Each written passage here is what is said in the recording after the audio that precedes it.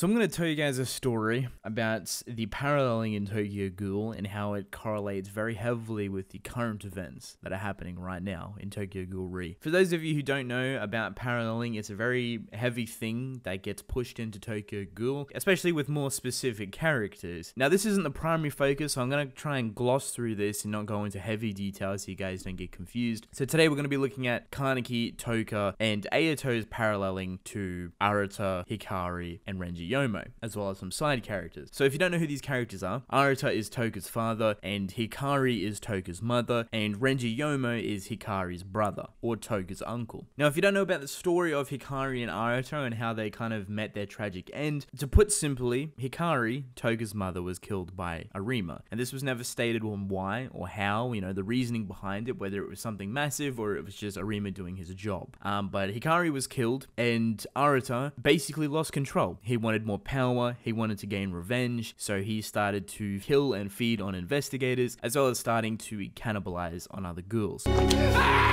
This led him to form a kakuja that has a very high reputation known as Joker, or Arata's Joker, and it, it's quite powerful, to say the least. Um, but Arata lost all control, he felt very remorseful uh, to Renji Yomo in saying that he couldn't save Hikari, and that he was going to try and get revenge, and he felt so sorry for Renji Yomo that he couldn't protect her, basically. To that, Arata lost his life when he went up against Shinohara and Kureo Mado, which is Akira's father. Now, personality-wise, these characters represent Kaneki and Touka very heavily. Arata was a very kind person. He was a, a ghoul that wanted to coexist with humans to the point where he would cook human food for his children, even though they couldn't even eat it. Not as pissed as I am! You fucking are!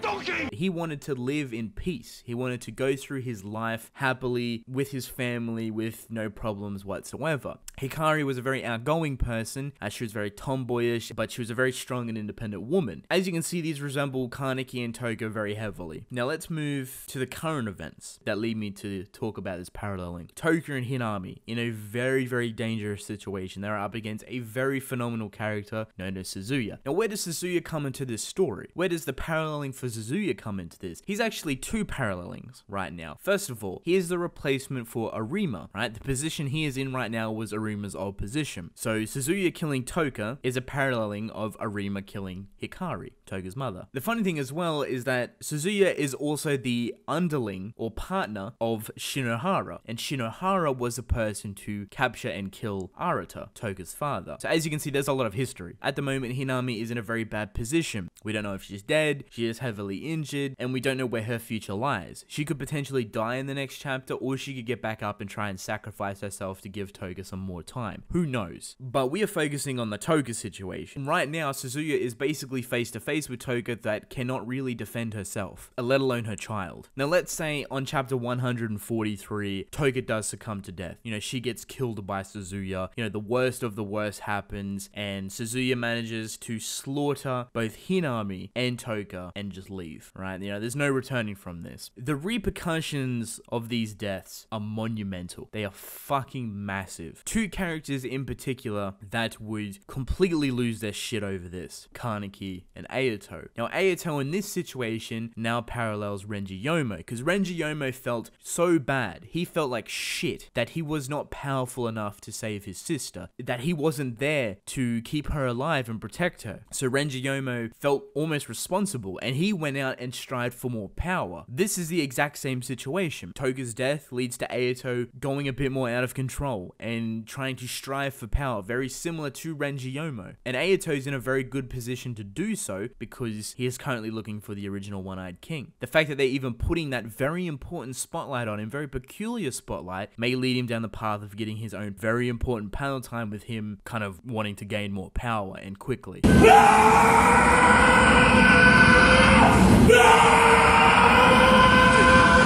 But the big hitter, Kaneki, comes into the picture. Kaneki finds out Touka died, and maybe Hinami just survived, or she's also dead, right? This changes the game completely, because what used to be Kaneki's ultimate goal, you know, to, to coexist with humans, to create a world where ghoul and humans could live together, is now completely and utterly shattered. It's gone. Throughout the entire story of Tokyo Ghoul, Kaneki never had a true motive, a true place that he could dial down his thoughts to, right? Right? The only time he ever did, the only time he was 100% sure with what he wanted to do was when he found out Touka was pregnant and when he wanted to marry her. He put all of his eggs in one basket and he's like, you know what? I'm going to create a future for my family. I'm going to do all this so my wife, who I love, and my child can live a peaceful future without getting hunted. And and that's the option he came to. He was like, "Yep, I'm going to do it. Let's go. Let's let's do this." So now you take Touka out of the picture. Take the child out of the picture. What left is there for Kaneki to build? Why would Kaneki even want to build a future when he's lost the one person he's loved and his child? Very similar to Arata, I would picture Kaneki going out of control. And this would obviously go against his efforts of trying to create a peaceful future between ghouls and humans. To the point where I think the only person that could potentially save him or bring him back to his original self would be Hide, now that Hide has made his return. Now, to kind of finish it all off and bring it all full circle, here's a good way that they could actually segue into the finale of Tokyo Ghoul somehow. Uh, and this is something I just recently thought of. So, Arata tried to gain more power. He gained a full kakuja, you know, he cannibalized on ghouls. This highly resembles Kaneki's situation. Be it may, Kaneki already has a full kakuja, however, he is not in the current position to use it. He's not powerful, he's super weak, you know, he's rapidly aging, he's dying, and he's just in a fucking horrible position when it comes to his health. So let's give a reason for Kaneki to cannibalize because he was on the fence about it. He said he wasn't really gonna do it. Only a little bits to keep himself alive, but that's it. Let's push all of the cannibalization onto him after Touka's death. So now he's angry. Now he's got all this power that he needs. There is a drawback when it comes to cannibalizing though, and the reason why Kaneki wouldn't do it to that extent in the first place is because it changes the person. If you cannibalize too much, you start to lose control, and if you lose control while you're at the pinnacle of your character or you have a full kakuja, there's really no return. So here's the picture. Kaneki cannibalizes because he wants power, because he wants revenge against Suzuya. He goes to the CCG thinking that Furuta is still in control, thinking that Suzuya may potentially still be there, who knows, and he goes and demolishes the CCG. Little did he know Hide had returned and the CCG was back in human hands. Furuta's been kicked out, most likely pushed back to the V organization. Now this creates a massive rift once again between Kaneki and the CCG. Considering the CCG and Kaneki's organization has similar goals, with trying to coexist and giving ghouls a fair chance and ghouls not completely slaughtering humans, do you'd think they would work together to take down the bigger threat, whether it be Furuta or the V organization. But they've been implementing small snippets of text saying that, you know, Kaneki can't kill humans, you know, because if he does, it breaks everything that he's trying to build. And I thought it's very peculiar because I think that's an obvious thing, right? But the fact that Ishida's forcing it in a lot more, I feel like it's going to play a very important role soon. Maybe almost as an ultimatum. If he finds out Suzuya killed Touka, he will want revenge regardless. He goes on this rampage and he tries to kill Suzuya. Here's the ultimatum. He kills Suzuya, who is an investigator. He loses the future and the CCG retaliate. And Kaneki gets caught up in a massive firefight with nowhere to go. Everything that he's built up to that point, the organization, means nothing. At that point, Kaneki's only choice would be to fight and try and rule over absolutely everyone. He would have to potentially kill and obliterate everyone so he could have the portion of the future that he really wanted. It's not the same result, but I feel like it's an option that he could try and go for. If he's influenced by a full kakuja state and he's just driven by rage and revenge. The other side is that he doesn't get the revenge he wants against Suzuya, and Suzuya kills him. Kind of coming into the ending of the story. Maybe they kill each other, who knows? But Suzuya kills him, for instance. And that would parallel heavily with Shinohara killing Arata. So Suzuya wearing Arata, thanks to Shinohara killing Kaneki, who is paralleling Arata. That, that just sounded super weird. And also considering that Suzuya is another parallel to Arima, with Arima killing Kaneki the first time, technically, or, you know, destroying his brain or whatever.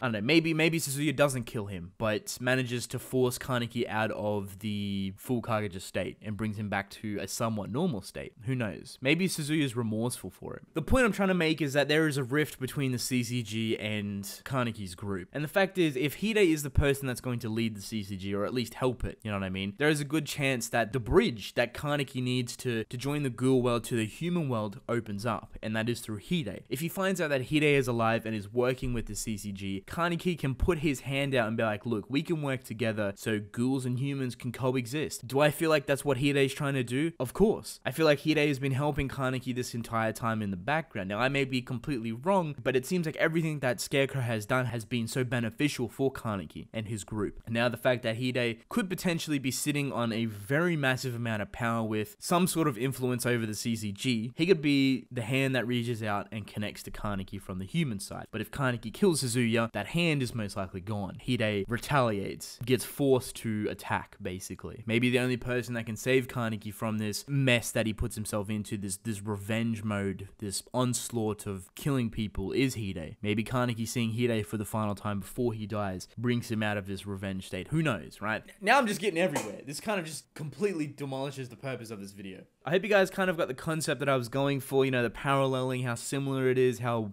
dangerous the future could be for Kaneki, and how the story could change once again. There's so many different counterparts going on right now, so much emotion flying through these chapters, so many people on the chopping block. It's ridiculous. I'm excited to see how everything boils down to a conclusion. We're almost at the infamous chapter 143, which was the ending of Tokyo Ghoul Part 1, so you can expect, you know, something's about to go down that's massively impactful on that chapter. Who knows? Tokyo Ghoul Re may actually come to an end on chapter 143 and we'll pick up maybe a couple months later for Tokyo Ghoul Part 3. So with that being said, I'm actually going to end the video off here. Hope you guys enjoyed. Don't forget to subscribe. I greatly appreciate it. Let me know your thoughts in the comment section below and I'll catch you guys in the next video.